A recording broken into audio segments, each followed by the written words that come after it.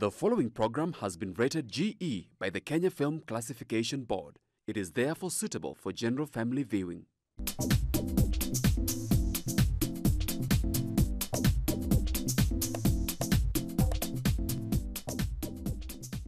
Hello viewer, welcome to Chungu cha Jamii. I'm your host Eunice Mugo. Today on the show we're talking about coping with infertility in marriages. Are you facing infertility in your marriage? What are the struggles? What are the challenges? What are the issues? Have you consulted a doctor? What is the way forward? Send in your question, your comments across all our social media networks. That's GBS TV Africa. Our SMS line is 21144. I'm not alone. I have guests with me who are going to help us to understand better about how to cope with infertility in marriages. I will allow them to introduce themselves. Welcome, guests. Starting with you, madam. Morning, viewers. My name is Wanjiru Kiama. I'm a married coach, and I love the Lord. Thank you so much, Mr. Sanjiro. To you, Mr. Good morning, everyone. My name is Benjamin. I'm a specialist in mind education, and I also do counseling. Welcome on the show, guests. Thank you. Um, to start with, infertility in marriages. It's a um, rising issue. It has been there before, and uh, it's growing uh, due to the change in lifestyle in terms of eating, in terms of condition, in terms of name. A lot of things are affecting and making couples to be infertile in marriages. And it's causing conflicts not only between the couples but also the families at large because the husband will blame the wife, the wife will blame the husband, and the in laws blaming each other. To start with, simply, why infertility and uh, how is it important to talk about it in this day and age? Madam It's very important to talk about infertility because today there are very, very many, many causes of infertility. And that is why it is very important for a couple to visit a gynecologist, mm-hmm. wanaangaliwa, mm-hmm. and then they are able to know who is who. Because in many cases, mm-hmm. when you don't see a baby and you are the extended family, you all look at the woman, and maybe the man is the cause. But when they visit a, a, a, a, doctor or a, a gynecologist, they will be told the problem and they will solve it even before the extended family comes in. So silence is the one that worsens it. Yeah.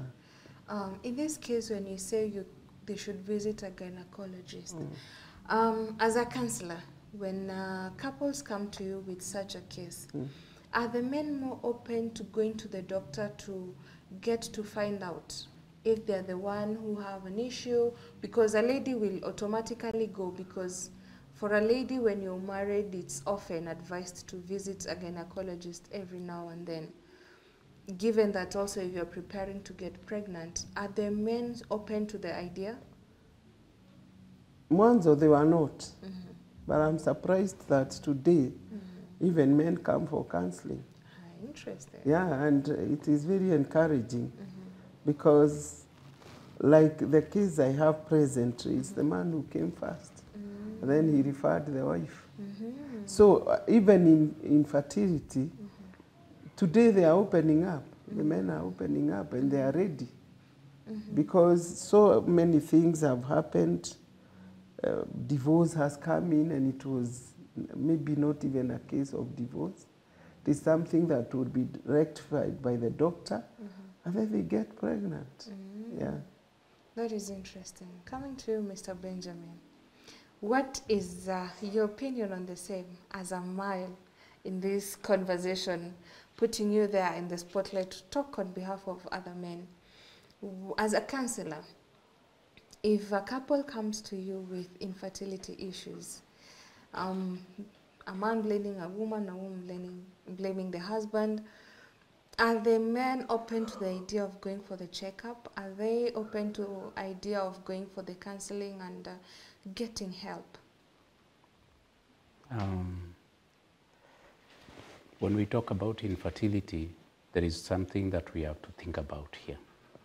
and one of them, uh, it's not that infertility started now, because one of the biggest problems that we have is now people are talking of nowadays, things are like this, nowadays things are happening like this. But for me, what I know, uh, biblically, all the things that are happening to our lives, they all originate from the heart. And as I always say, actually in the many shows that I've spoken here, I always speak about one thing. Uh, when you look in the Bible, there is Solomon, and Solomon was one of the most wise people. And then he once said like this, guard your heart with all diligence, for out of it are the issues of life. Why are these people fighting? Why is it that they cannot accept themselves? Number one, it is simply because they do not understand who they are. So because of that, you know, once, once I went to Korea and then there was one uh, lecturer who was giving us lecture about mind education and then he spoke about something which was very key. You know,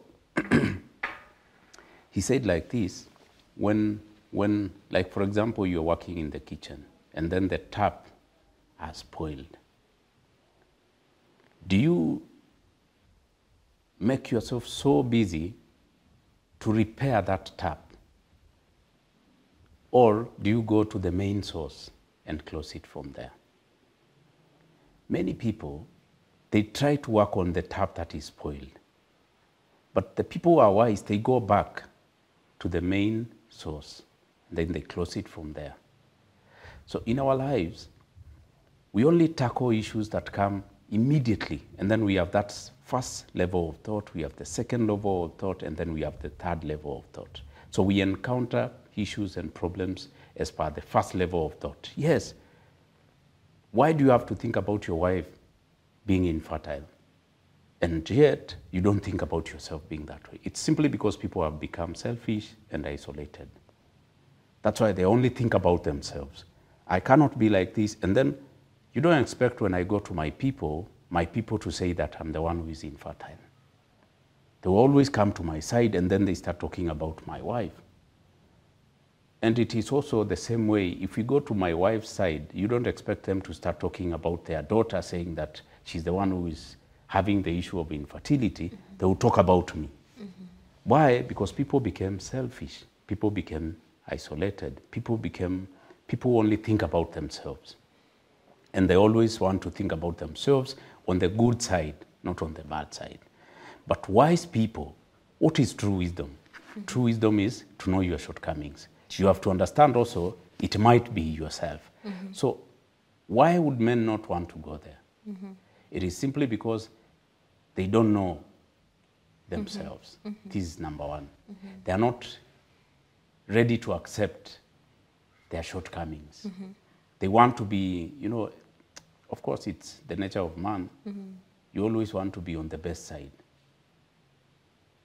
Everybody wants to be on the best side. That's why, even when the issue comes and then you, re- you realize that you are the one who is infertile, do you think people get that courage?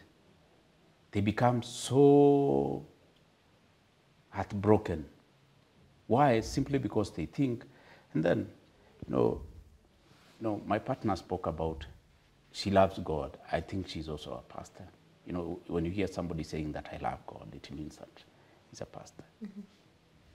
People don't want to talk about themselves in the spiritual world. They want to talk about themselves in this world that we are living today. And that's why for them to accept things that are happening to them, it's not easy.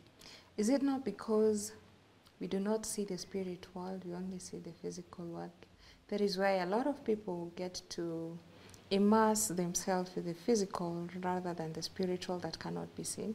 Very true. Why? I can Thank ask you. you a question.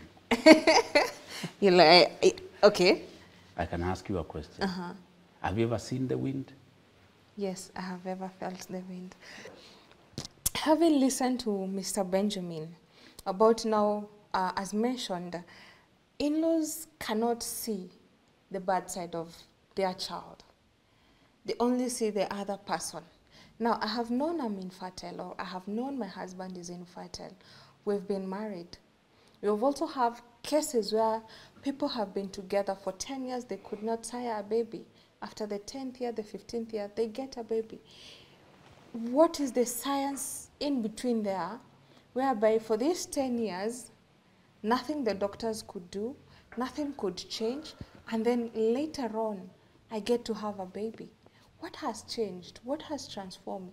Is it now here we say about the spiritual world, the, the spiritual world, where a miracle happened, or is it something that I don't know how to explain it? Help me to understand. Most of the people I know that got children after 10, mm-hmm. after 12, chini ya maji wamekuwa wakienda kuseek help.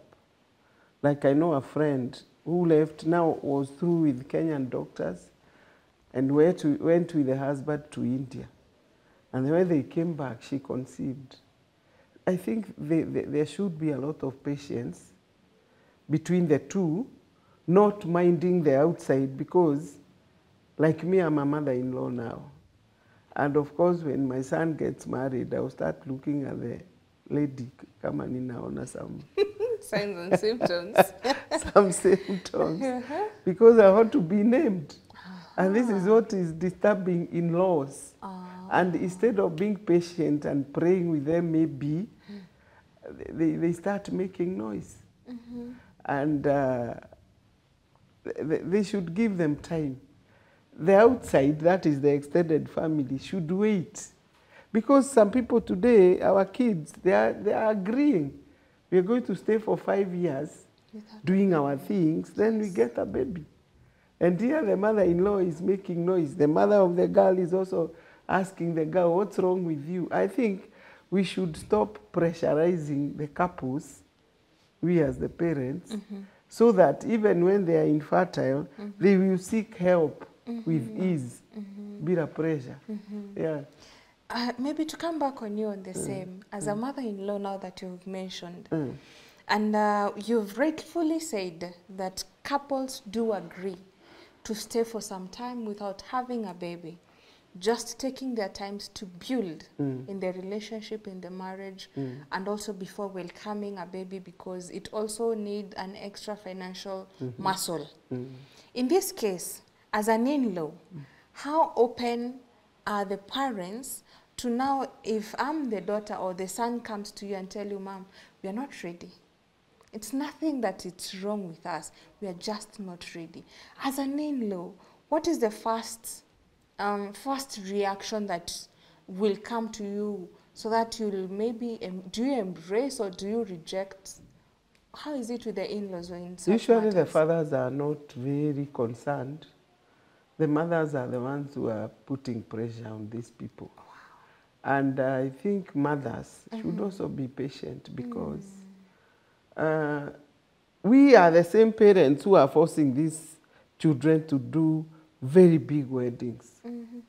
And when they do very big weddings, some even borrow money. Mm. So they can agree and say, wacha tukae miaka mitano tulipe hizi loans, zile tuliinkaa, tufanye hivi, then we get A baby. a baby. Mm -hmm. Then you go to tell your mother that. mm -hmm. Na ni yeye alikusukuma ufanye harusi ile itampea jina. But she won't listen. So I always, when I'm speaking to women, because I have forums with women, mm -hmm. I tell them to be patient with the young people because they don't think like us. Some of us, like me, I always say, on my wedding day, my daughter was one month. So I had a baby already. Already. Some of us got pregnant early, others walifanya harusi those days wakiwa pregnant. These people, I think, I call them more organized. Mm. And they want to prepare for that family, Mm -hmm. put a budget. Mm -hmm. But ikifika miaka tano, the mother is already annoyed. Mm -hmm. Kwani nitazaliwa lini? Kwani mnataka aje? So uh, sometimes we say it is infertility and it is not. Mm. It is a mutual agreement between the young man and the woman. But okay, when it comes to now again infertility, mm-hmm. and most of us today, 80% mm-hmm. of the people are Christians mm-hmm. in Kenya. So we know that God can do miracles. Yeah. Instead of praying with those children and asking children, uh, God to give them a child, we are making noise. We are not even waiting for God in the mm-hmm. spiritual realm now. Mm-hmm. And I think it can work. We are the people who read and see how Zachariah was very close to Elizabeth. Mm-hmm. And people are okay. Uh, Abraham and Sarah were okay until the angels came and announced there will be a son. I don't think there was any pressure for them. But today, I know a couple whereby even the mother in law has started looking for another girl. Yes, Why should we go to such a level? that is what I'm wondering. And we are all Christians, we are saved. I have a question before we go on a break. As a mother in law, your son today is married, and now you're helping your son to get another wife because they have gone into maybe an agreement, I would assume so, or maybe the infertility that you are talking about, and they're not having a baby. Mm-hmm. Going forward to look for another lady for your son to marry. My question is, as a mother in law, if it was your daughter in the same shoe, would you prefer the mother of the man to look also for another lady to replace your daughter? But I don't think they think of that. They are so, some of these women are so selfish that imewakula, yani imeingia ndani yao. They don't think of anything else apart from kuzaliwa. Na kama hanizai, nitatafuta yule atanizaa. And this okay then i can conclude by saying this as we go for a break Mm -hmm. it's i can now point a finger to in-laws they are the people who are making their sons and their daughters to maybe go cheating in their marriages Me, yeah, I think so. Because they, they are entertaining. Thank you. We'll take a short break. As we come back to you, Mr. Benjamin, I'd like to get your perspective on the same from the male part of it. What is your take on that? Viewer, I hope you're learning as much as I am. Send in your question, your comments across all our social media networks. That's GBS TV Africa. Our SMS line is 21144. We'll be back shortly.